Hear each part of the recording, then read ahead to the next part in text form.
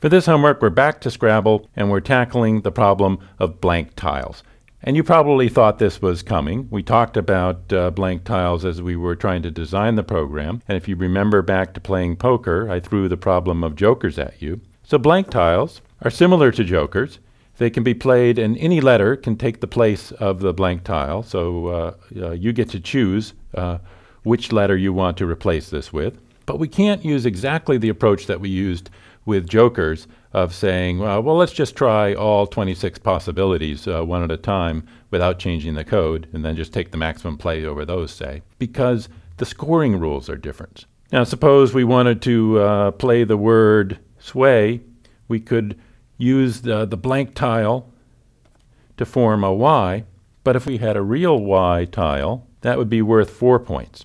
Whereas if we have a blank Y tile, that's worth zero points in terms of the letter score. So we can't just replace it as is, we have to keep track of the scoring. So we have a question of how we're going to represent the blanks.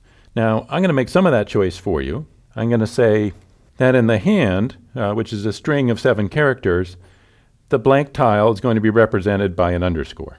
And on the board, when you finally decide what you're going to play, let's say you decide that the blank's going to rep be represented by a Y, uh, we're going to go ahead and represent that as a capital letter Y uh, because once it's played, it uh, fully takes on the effect of the uh, letter it replaces. So somewhere from going to the hand to going from the board, the blank changes from a underscore to a capitalized letter. But in between, it's up to you. Now, as the program uh, progresses, we call uh, best play, which calls all plays, and at some point we're going to call calculate score. It's up to you to decide what format and what type of data you want to pass to each of those functions. So one possibility is you can maintain the underscore as a representation for a blank. At some point, you might want to swap over and use the uh, capital letter that you've chosen to replace it with.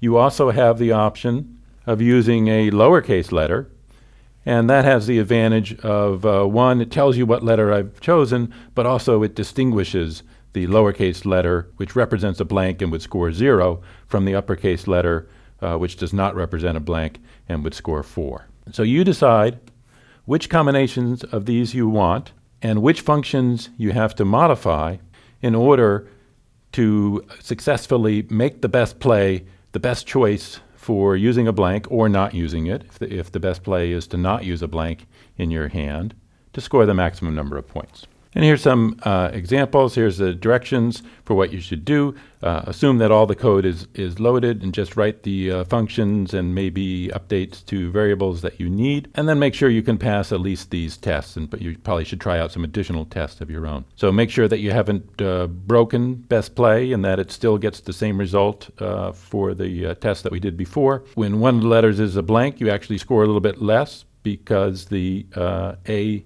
scores no letter points. Now, I've chosen to show here uh, the uh, lowercase letter to indicate uh, where the blank is, is played, but your function that returns best played doesn't necessarily have to return it a representation like that. It could, could have returned a uh, blank character there or something, as long as we know that the uh, score is correct and the play, the best play is correct.